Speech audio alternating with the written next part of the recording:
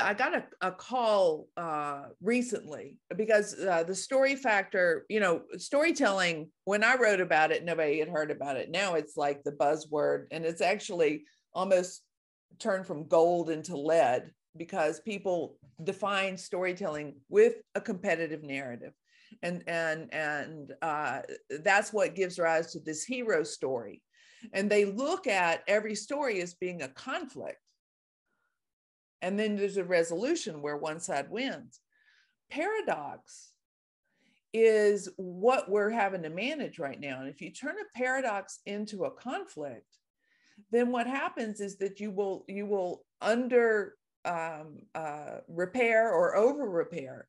So, for instance, in the nation right now, safety and freedom uh, is one of the paradoxes that's the root cause of our political uh, situation and and in so a competitive narrative we're all for freedom or we're all for safety. But in a collaborative narrative safety and freedom are a paradox. And there is no way to solve for one and not diminish the other. And so when we accept this competitive paradox you've got the the the people the extremists on both sides shooting tor- uh, uh, torpedoes at any idiot willing to go into the middle.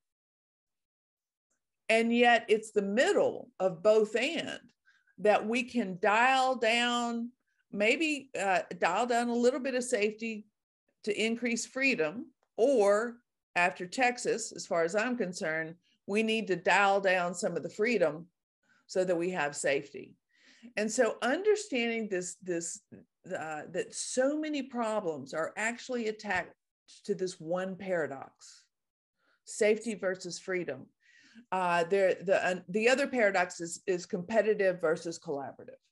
And, and it's not like we can all be, you know, hold hands and sing kumbaya. If we, if we solve for collaborative only, then you end up with, you know, bad actors and people um, uh, abusing the system if it's all competitive, then nobody's sharing information with anybody.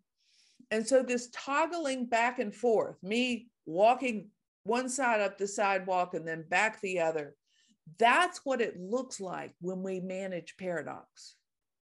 We get called wishy washy. And the truth is that we're actually balancing a polarity.